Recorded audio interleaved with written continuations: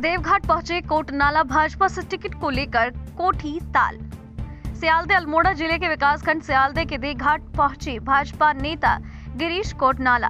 देघाट में पार्टी कार्यकर्ताओं ने किया स्वागत और देघाट बाज़ार में सभी व्यापारियों से की मुलाकात। वहीं पार्टी कार्यकर्ताओं से भी बैठक की। वहीं उन्होंने 2022 विधानसभा चुनाव को लेकर भाजपा से टिकट लेकर चुनाव लड़ने की बात कही। नव भारत समाचार, सियालदे अल्मोड़ा से हरीश मंडराल की रिपोर्ट।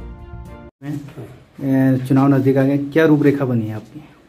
देखिए मैं भी पार्टी का समर्पित कार्यकर्ता हूँ पिछले तीस साल से पार्टी की सेवा कर रहा हूँ। मेरी पिछली बार भी पार्टी के असल्ट विधानसभा से दावेदारी थी इस बार भी मेरी दावेदारी है।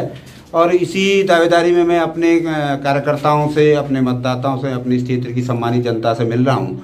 और मैंने एक अभियान चलाया है मरचूला से नागचूला और अ, भीताकोट से गुजरू कोट तो मतलब पूरे शर्ट में मैं जाऊँगा।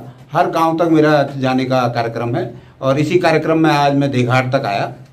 लेकिन मुझे यहाँ पर एक सूचना मिली मतलब उससे मुझे बड़ा दुखित हुआ कि भाई आज़ादी का पिचहत्तरवां दिवस मनाया जा रहा है और जिसको अमृत महोत्सव नाम दिया गया है और वो इस यहाँ पर देघाट के कुछ कार्यकर्ता जो उस लोग, उस कार्यक्रम को करना चाह रहे हैं और पता चला कि उसमें व्यवधान किया जा रहा है।